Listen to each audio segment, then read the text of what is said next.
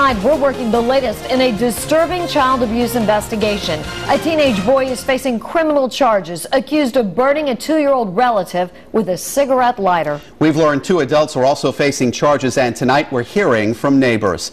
Eyewitness News reporter Susan Campbell is live outside the Pawtucket Police Department with our top local story.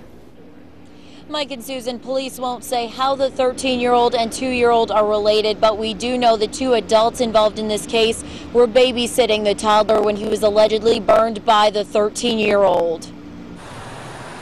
Pawtucket police are investigating an alleged case of child abuse that happened at this home on Grand Avenue late last month. We've learned a two-year-old suffered serious burns all over his body, including his neck and groin. Police tell us the little boy was burned repeatedly by a cigarette lighter. I'm shocked.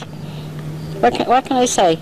The alleged abuser is a 13-year-old boy. He's facing a child abuse charge. Anytime someone is burned, that's obviously a severe crime. What's uh, unique about this one is the age of the offender, and uh, that's, that's, something we, you know, hope to prevent in the future. And uh, this this individual could get some uh, treatment to determine why he actually did this. Two adults, Kimberly and Jay Taylor, are also facing charges. They're accused of cruelty and neglect because police say they didn't stop the crime and didn't report it. We went to the couple's home. There was no answer. But people who live nearby tell us Kimberly and Jay Taylor are good parents who shouldn't be facing criminal charges. They've taken in children that nobody wanted and made good citizens out of them, and, and they, they just love them.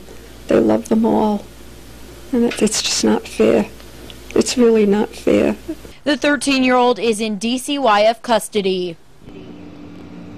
Kimberly and Jay Taylor, as well as the 13 year old boy, are all scheduled to be arraigned tomorrow in family court.